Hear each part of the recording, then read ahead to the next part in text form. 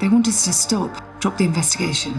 Why do they do it? Kill, protect the people they love. Isn't that the only motive that makes sense? It's still just a theory. Let's find the evidence. I think I was swallowed. They know where we are.